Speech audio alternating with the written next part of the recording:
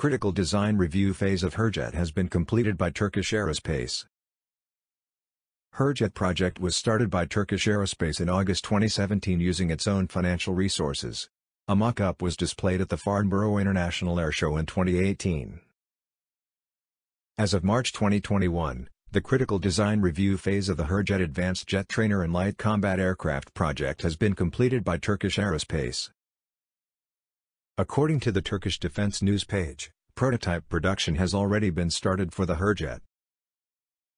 Turkish Aerospace plan the Hürjet for replacing the aging T-38 jet trainer fleets and F-5 acrobatic team aircrafts of the Turkish Air Force.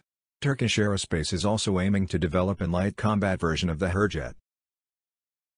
Hürjet will be used mostly Turkish subcomponents. Especially Aselsan and Havelsan will be the leading subcomponent suppliers for the Hürjet. It has been decided to use GE F404 engine on the Hürjet.